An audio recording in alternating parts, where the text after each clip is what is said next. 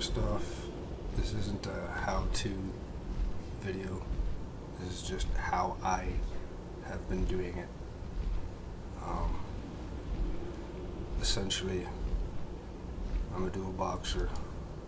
I run two hunters, so I get to um, cover two, two of the four spawn points at a time.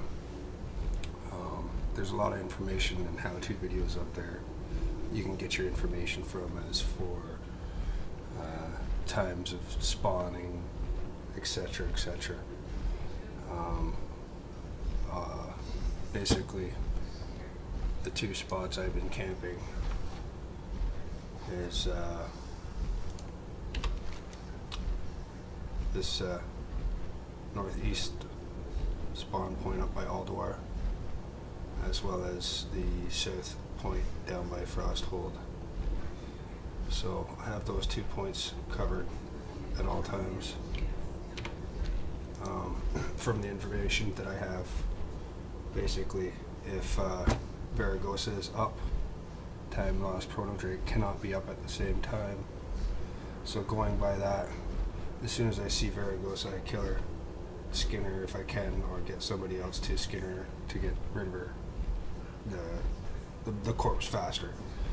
So then, basically from that point, the information that I go by is that it is possible that time lost Protodrake or Vyragosa will spawn again in 45 minutes after the.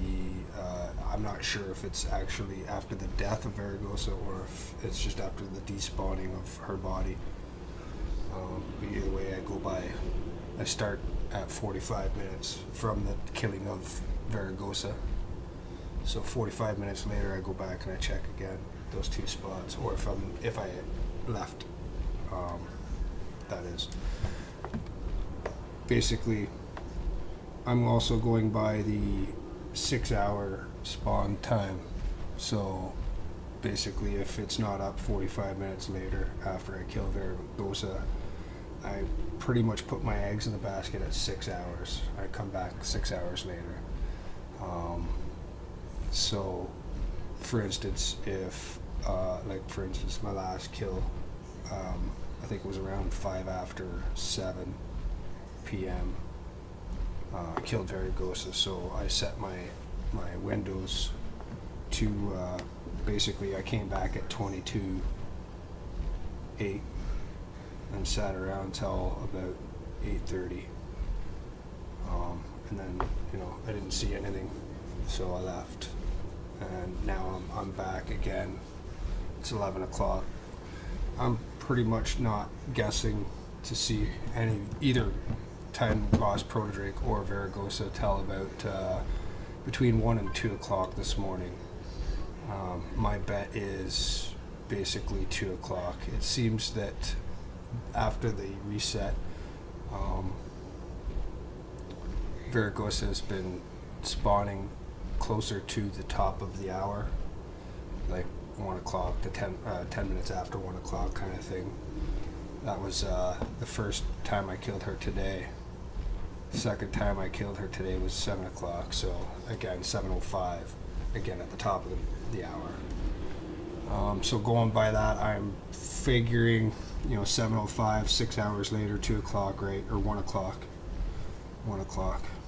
So one o'clock to two o'clock, basically, or 2:15 is how, how late I'll stay up um, to see if I get it, and that's basically all I do. Now, the other things that do come along with hunting the time lost protodrake is the more rares across Northrend that are killed and downed and kept down, the better chances that either Vyragosa or time lost protodrake will spawn.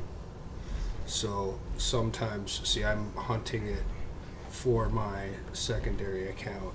I already have the time lost protodrake on the first account, um, so I'll leave the the account that needs the drake in the spot that I think most likely to see the spawn. And, and this today, it's been down in the south uh, twice now. I've seen it both times in the south. And um,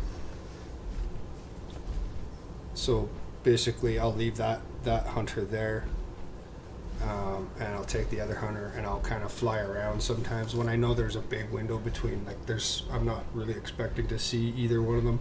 I'll take the main hunter, and I'll just I'll fly all over, all over Northrend.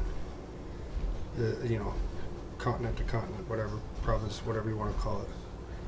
I'll go over all of them, um, killing all the, the rares that I see as soon as I see them.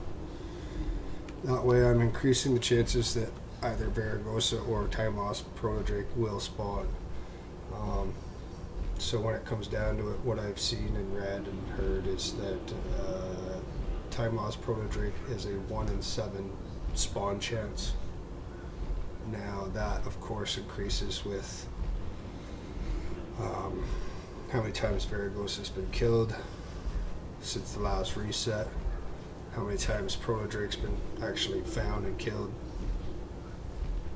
There's a lot of different variables there. How many rares have been killed across Northrend, and uh, that's pretty much it. So I'm, I'm pretty much just camping the two spots, the the, the four spots that uh, I find best. Actually, there's three spots that I find best. There's the the, uh, the north one. Last week, he uh, before reset, Vyragosa was spawning up there. Um, probably two or three times for me last last week that I killed her, and this week it's down in the south. So um, that's why I'm really betting down here. The third spot, if I had a third person, I'd put them over just to the uh, west of my south point to capture that third circle, that third loop. Because this guy here essentially be watching for both of these two south loops from this one spot just by looking off that direction on this the smaller screen. So that's essentially how I do it. And uh, chances are, whatever Blizzard dictates them to be, you know, depending on all the different variables. But in the end, chances are I will get it a second time. And when I do, I hope I capture it on video. Thanks for watching. I hope it does kind of give you a guide and a little bit of insight in how uh, how to get your own time loss project. Thanks. Like, share, subscribe, all that lovely stuff.